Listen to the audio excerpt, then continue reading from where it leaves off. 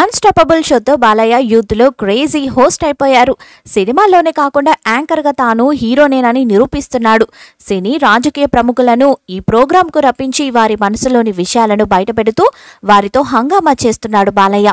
ఇప్పటికే చాలా మందితో షో నిర్వహించిన ఈ హీరో ఇప్పుడు ఇద్దరు సినీ భామలతో ఎంజాయ్ చేయనున్నారు.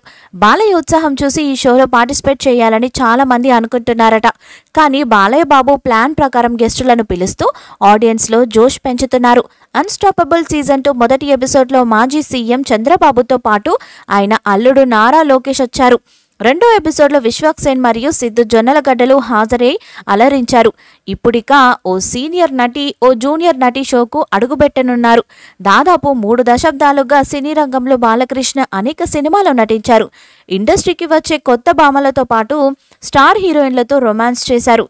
వీరిలో రమ్యకృష్ణ ఒకరు. ఒకప్పుడు గ్లామర్ హీరోయిన్లు రమ్యకృష్ణ ఒకరు. ఈ నటి ఉన్న సినిమాలను అప్పటి యూత్ ఇష్టపడి చూసేవారు. ఈ తరుణంలో బాలకృష్ణతో రమ్యకృష్ణ చేసిన సినిమాలు సక్సెస్ అయ్యాయి.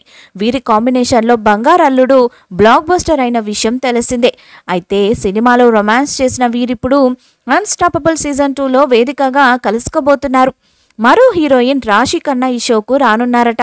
నేటి గ్లామరస్ హీరోయిన్స్లో రాశి కన్నా ఒకరు.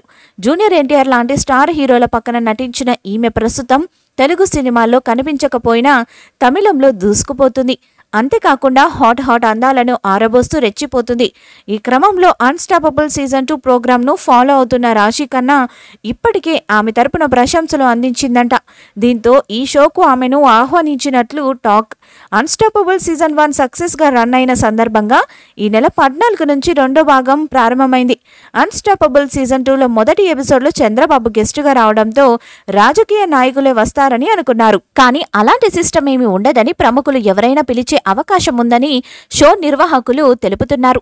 ఈ క్రమంలోనే ఓ సీనియర్ నటి మరో జూనియర్ నటి ఈ షోకు ఆహ్వానించారు. అయితే బాలయ్యతో ఈ ఇద్దరు పామలు ఎలా ఎంజాయ్ చేస్తారో చూద్దాం.